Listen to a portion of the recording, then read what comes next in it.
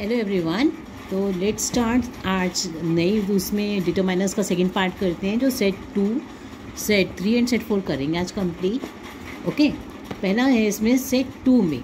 Set two लेते हैं first sentence this is my book but dash one is yours ये मेरी किताब है बट पर वो तुम्हारी है।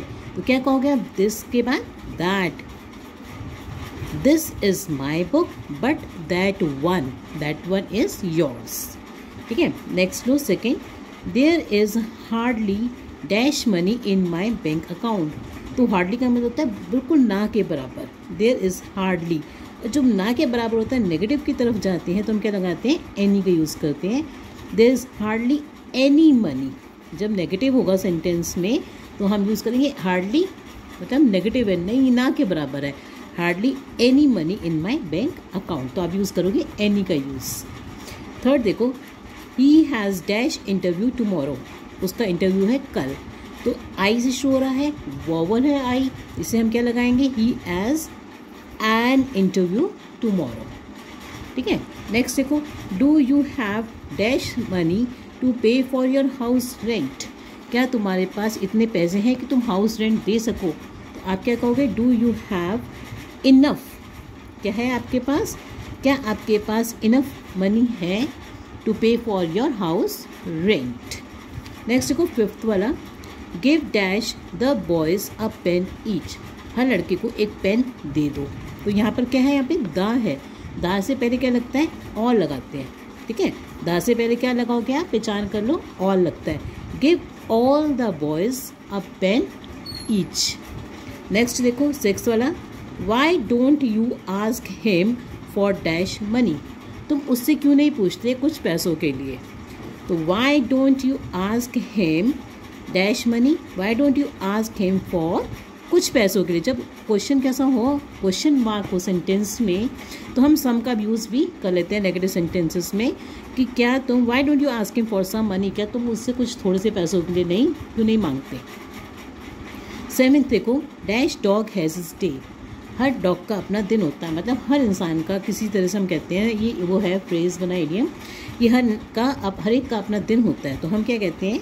एवरी क्या यूज़ करेंगे आप? Every dog has his day next देखो एट्थ वाला among dash things we will also discuss the latest happenings in the campus among dash things तो बोला जाता है अमंग दोज थिंग्स उन उन चीज़ों के साथ साथ अमंग दोज थिंग्स उन चीज़ों के साथ साथ, हम ये भी डिस्कस करेंगे latest happening in the campus कि कैंपस में क्या अलग हैपनिंग लेटेस्ट हैपनिंग क्या हो रही है।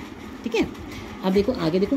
Don't make dash noise don't make dash noise तो डोंट है नेगेटिव है तो आप क्या यूज़ करोगे? Any don't make any noise the baby needs to have dash sleep कि बच्चे को थोड़ी सी नींद चाहिए। तो आप क्या कहोगे? एनी के बाद some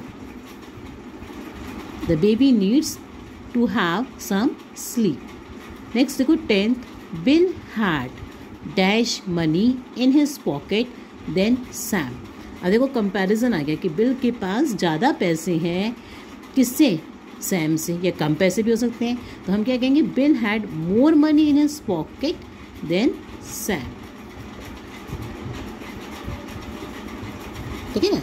तो ये कंपैरिजन है तो हम क्या लगाते हैं? मोर का यूज़ करते हैं। There were dash eggs in the fridge than we had expected तो देयर वर इतने अंडे थे फ्रिज के अंदर, जितने भी हमने एक्सपेक्ट भी नहीं किए थे। मतलब हमारे एक्सपेक्टेशन से ज़्यादा थे। तो आप यूज़ कर सकते हो यहाँ पर there were enough eggs use कर सकते हो या मैनी क्योंकि मैनी का मतलब होता है कि हम काउंट कर सकते हैं अंडे। तो इसलिए यहाँ पे क्या लगाओगे आप? मैनी का यूज़ करो। क्योंकि इनफ एग्स हैं। मैनी एग्स हैं, क्योंकि मैनी किसने आते हैं? जब हम अंडे को काउंट कर सकते हैं। इनफ तब लगता है जब क्वांटिटी होती। तो आप यहाँ पे मैनी का यूज़ करो। देयर वर मैनी एग्स क्योंकि एग्स काउंटेबल है और प्लूरल भी है। तो मैनी के बाद क्या लगता है? प्लूरल भी लगता है और काउंटेबल नाउन लगता है। ठीक है? नेक्स्ट देखो set three how time how dash time do you need to finish your lunch तो हाउ मच हाउ के साथ क्या लगता है? मच तो हाउ मच टाइम ठीक है? नेक्स्ट देखो second sentence dash Arjun and Gaurav are away on a tour दोनों दोनों अर्जुन और गौरव कहाँ गए हैं? टूर पर गए हैं। तो दोनों जनों की बात हो रही है। जब दो की बात बात हो रही है तो हम क्या लगाते हैं? बोथ क्या लगाते हैं? Both both Arjun and Gaurav are away on a tour ठीक है? नेक्स्ट देखो third the blue car belongs to dash uncle तो जो ब्लू कार है, नीली कार है किसको बिलोंग करती है? या तो मेरे अंकल को कह सकते हो योर अंकल कह सकते हो हिज अंकल कह सकते हो। क्योंकि ये सब क्या है, हमारे डिटरमाइनर्स हैं पोसेसिव केस है।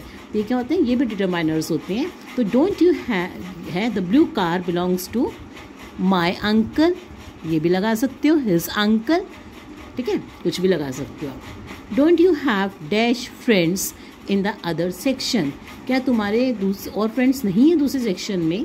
आप क्या लगाओ यहाँ पे don't you have some friends देखो, इसमें जो है, हम सम भी लगा सकते हैं एनी भी लगा सकते हैं। सम हम तब लगाते हैं जब हमारे पास क्वेश्चन होता है और हमें एक्सपेक्टेशन होती है कि उसका आंसर जो है हाँ में आएगा। कि हाँ मेरे कुछ फ्रेंड्स हैं दूसरे सेक्शन में। ठीक है? और एनी का तब हम लगाते हैं जब बिल्कुल ना नेगेटिव आंसर आने की उम्मीद होती है। तो अगर आप लिखेंगे don't you have some friends in the other section क्या आपके कुछ फ्रेंड्स हैं दूसरे सेक्शन में? ठीक है? अगला देखो फिफ्थ वाला rewrite the letter to make sure that there aren't dash mistakes तो दोबारा से चिट्ठी लिखो, ये देखने के लिए कि कोई मिस्टेक ना हो तो there aren't aren't का मतलब आर नॉट तो नॉट आ गया तो नेगेटिव हो गया. नेगेटिव हो गया तो any rewrite the letter to make sure that there aren't any mistakes देख, आगे को six how dash people are there in the room people गिन सकते हो आप तो आप क्या बोलोगे? कितने लोग हैं कमरे के अंदर? तो हाउ मैनी ठीक है? हाउ मैनी और हाउ मच कब कहते हैं जो हम काउंट नहीं कर रहे हैं उसको? How many how many people are there in the room dash colour do you like the best जब चॉइस आती है तो आपको मैंने बताया था क्या लगाना है? Which which colour do you like the best eighth में देखो most of dash oranges are from Spain तो मोस्ट ऑफ़ द क्या बोलती है हमेशा? Most of the oranges are from Spain next देखो ninth can I have dash slice of cake please वो पूछ रहे हैं कि क्या मैं एक और पीस ले सकता हूँ स्लाइस ऑफ़ केक तो हम यहाँ पे लगाएँगे अनादर अनादर इसलिए लगाएँगे क्या? मैं वो पूछ रहा है क्या मैं दूसरा पीस ले सकता हूँ स्लाइस का? और अनादर के बाद क्या आता है? देखो, ये पहचान कर लो कि स्लाइस ऑफ़ केक क्या है? सिंगुलर है। जब अनादर के बाद क्या आता है हमेशा? सिंगुलर आता है। ठीक है? तो आप क्या लगाओगे यहाँ पे? अनादर कैन आई है अनदर स्लाइस ऑफ़ केक ठीक है? नेक्स्ट देखो there are dash pears in the cupboard नाशपति है, क्या है? वो कहना, थोड़ी सी नाशपति भी होती है, ज़्यादा क्या हो सकती है यहाँ पे? काउंट कर सकते हैं पियर्स क्या है, नाशपति है काउंट करी जा सकती हैं। तो आप क्या लगाओगे यहाँ पे? देर आप फ्यू भी लगा सकते हो, क्योंकि फ्यू किसके लिए आता है? फ्यूअर का ना, थोड़ी सी। तो आप काउंट कर सकते हैं, ठीक है ना? और आप क्या लगा सकते हो यहाँ पे? मैनी भी लगा सकते हो कि वो भी काउंट कर सकते हैं, ठीक है? तो आप यहाँ पे लगाओ few there are few pears in the cupboard there are few मतलब थोड़ी सी नाशपति है किसमें? कबर्ड में। डैश इलेवेंथ देखो। डैश चीज़ कंटेन्स प्रोटीन तो हर चीज़ में क्या होता है? प्रोटीन होता है। तो क्या लगाओगे यहाँ पे? एवरी क्या लगाओगे आप? एवरी एवरी चीज़ मतलब हर चीज़ चीज़ सबको डिनोट कर रहा है ना? तो सबको जब डिनोट कर रहा है एक चीज़ तो आप क्या लगाते हो? एवरी और एक बात देखो, यहाँ पे कंटेंस लिखा है।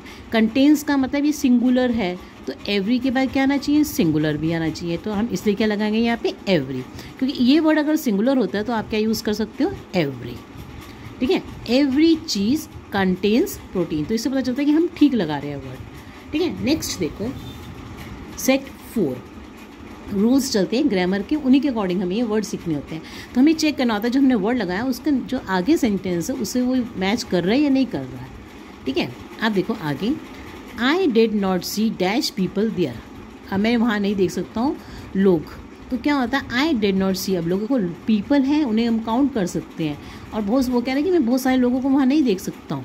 तो आई डिड नॉट सी मैंने वहाँ पर, हम ये तो बोलते हैं कि मैंने वहाँ बहुत सारे लोगों को नहीं देखा। तो I did not see many people there how dash trees are there in your garden तो जब क्वेश्चन है ट्रीज पेड़ गिन सकते हैं तो कितने पेड़ हैं आपके गार्डन में? तो क्या बोलोगे? अपने आप ही निकलता है मुझसे how many how many trees are there in your garden देखो थर्ड सेंटेंस देखो। His father was a cook उसके फादर कुक थे at the house of dash English officer किसके घर में? इंग्लिश ऑफिसर के घर में। तो इंग्लिश क्या है यहाँ पे? ई से स्टार्ट हो रहा है तो हम कहते हैं his father was a cook at the house of an English officer ठीक है?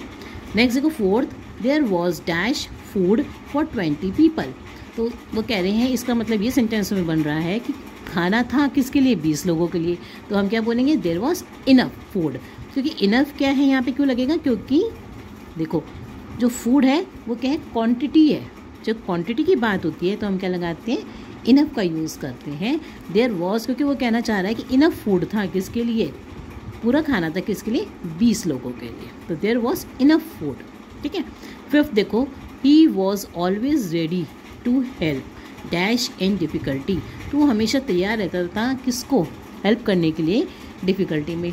तो he was always ready to help me ऐसे तो बोलते हैं कि हेल्प मी मेरे को डिफ़िकल्टी में हमेशा हेल्प करने के लिए तैयार रहता था। He was help always ready to help me in difficulty a dash knowledge is dash dangerous thing ये फ्रेज बोला जाता है, क्या बोलते हैं अ डैश नॉलेज कि थोड़ी सी भी नॉलेज हो तो अ लिटिल लिटिल का मतलब बिल्कुल ना के बराबर नॉलेज जो होती है थोड़ी सी भी नॉलेज हो हल्की knowledge is dash dangerous thing तो वो ज़्यादा खतरनाक है is more a little knowledge is more dangerous thing okay seventh पे आओ द डैश म्यूजिशंस जितने dash musicians are as gifted as Ilaiyaraaja is तो कह रहे हैं कि कुछ ही म्यूजिशियंस क्योंकि हम जब कंपेयर करते हैं तो हम कहते हैं, कुछ ही लोग ऐसे हैं जो इलाई राजा के जैसे हैं। तो हम क्या बोलेंगे? फ्यू म्यूजिशियंस क्योंकि फ्यू क्यों लगाएँगे?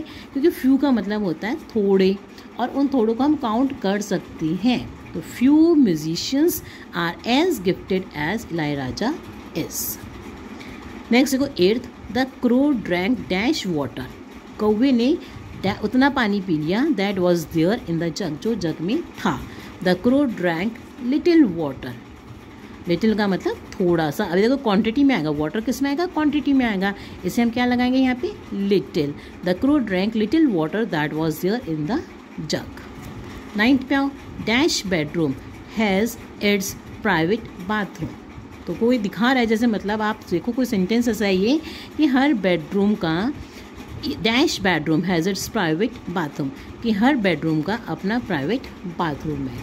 तो अगर हम देखें, हम बात करें, जैसे कोई होटल है, उसमें कोई दिखा रहा है, कोई बात कर रहा है कि जो पूरा होटल है, उसमें सब बेडरूम्स जो हैं डैश बेडरूम की हर बेडरूम का अपना प्राइवेट बाथरूम है। तो हम क्या कहेंगे यहाँ पर, जब हम एक ले रहे हैं सिंगुलर की बात कर रही है, कि ईच बेडरूम ईच बेडरूम की हर bedroom has its private bathroom ठीक है? He gave me dash the information उसने, क्योंकि हमने यहाँ पे बेडरूम के लिए इसलिए लिया अलग इसको ईच क्योंकि हर उसने जो है हर बेडरूम को अलग बताया कि हर जब कम्युनिटी में से कोई चीज़ अलग करके एक दिखाई जाए तो क्या लगा होगा? ईच का यूज़ करना। ठीक है? He gave me dash the information तो ही गेव मी अब देखो इन्फॉर्मेशन दी उसने। यहाँ पर क्या लिखा है? दा लिखा है। तो आप पहचान जाओ क्या लगेगा? All he gave me all the information okay next देखो eleventh find some dash examples of simile in the poem और एग्जाम्पल्स देखो। इसका मतलब क्या बन रहा है? सम मोर क्या बोलती हो आप? फाइंड सम मोर और एग्जाम्पल्स देखो of simile in the poem simile की पोएम में। ट्वेल्थ देखो अगला sentence dash student has been given a separate password कि हर स्टूडेंट को एक अलग पासवर्ड दिया गया है। तो क्या बोलोगे आप? जब हर स्टूडेंट की बात हो रही है तो आप क्या बोलोगे? Each student each student has been given a separate password तो क्या पहचान करोगे? आपने ठीक लिखकर लिखा कि ईच के बाद और एवरी के बाद क्या होगा? जो हमारा नाउन होगा, वो भी जो है सिंगुलर होगा, और जो वर्ब होगा हैज़ जैसे इसके अंदर है, वो भी सिंगुलर होगा। ओके okay, तो ये वीडियो मैंने इसमें अब डिटरमाइनर्स की ख़त्म कर दी कल हम नेक्स्ट शुरू करेंगे। और आपको कोई भी प्रॉब्लम है प्लीज़ आप मेरे को कमेंट बॉक्स में पूछ सकते हैं। अगर आपको बीबीसी में कुछ पूछना है and please subscribe my video thank you thank you for watching it